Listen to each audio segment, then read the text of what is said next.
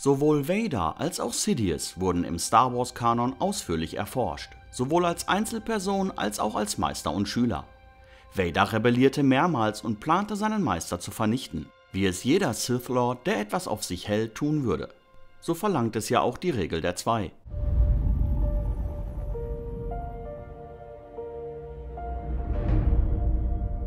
Es wäre uns eine Ehre, wenn Sie sich zu uns gesellen würden.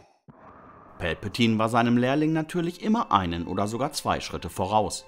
Trotz ihrer dunklen Intrigen gibt es einen entscheidenden Unterschied zwischen Vader und Palpatine, der in dem Roman Shadow of the Sith perfekt erklärt wird.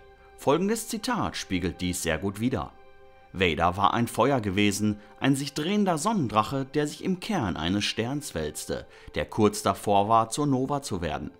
Der Imperator war das genaue Gegenteil. Er war Eis, die furchterregende Kälte des Abgrundes eines unendlich tiefen Ozeans, ohne Hoffnung. Eine Kälte, die so absolut, so endgültig war, dass alles Leben in ihrer Gegenwart verdorrte.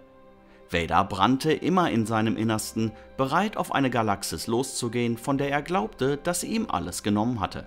Er befand sich in einem endlosen Kreislauf aus Hass und Selbstverachtung und war kaum in der Lage, seine Wut zu kontrollieren. Palpatine hingegen hatte immer die Kontrolle über seine Gefühle, die Wesen um ihn herum und jede Situation, der er begegnete.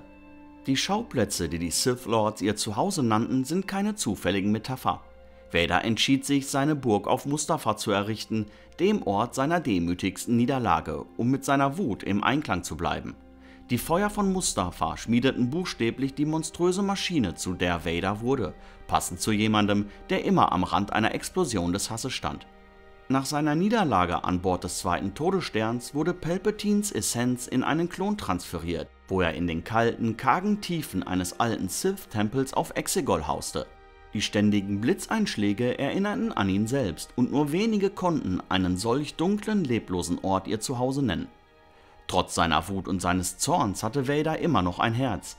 Es war der Schmerz von Anakin Skywalker, der das Monster Vader hervorbrachte und ihn zu schrecklichen Entscheidungen trieb. Anakin trug sein Herz am rechten Fleck und handelte impulsiv in einem vergeblichen Bemühen, diejenigen zu schützen, die ihm etwas bedeuteten. Das war letztendlich auch sein Verhängnis, aber auch seine Rettung. Das Feuer in Vader erlosch mit der Rückkehr der Jedi-Ritter und das Flackern von Anakin wurde immer stärker.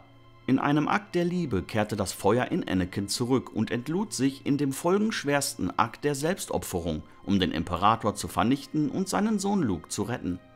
Palpatine war der Inbegriff des Bösen, so weit von menschlichen Gefühlen entfernt, dass er das Konzept der Liebe nicht begreifen konnte. Obwohl häufig behauptet wurde, dass er Vaders Verrat kommen sah, betonte George Lucas stets, dass er dies nicht tat, da der Imperator glaubte, dass Anakin für immer zerstört war. In dieser Hinsicht war Palpatine wirklich unverbesserlich, er hatte keine Achtung vor dem Leben, täuschte und tötete andere, um sein Ziel nach unbegrenzter Macht zu erreichen. Und wenn ihr jetzt noch wissen wollt, welche Eigenschaft Vader an Palpatine besonders bewunderte, dann klickt ihr gleich links auf das entsprechende Video. Ansonsten wären wir jetzt auch wieder am Ende angekommen. Wie immer bedanke ich mich fürs Zusehen und verabschiede mich bis zum nächsten Mal. Möge die Macht mit euch sein.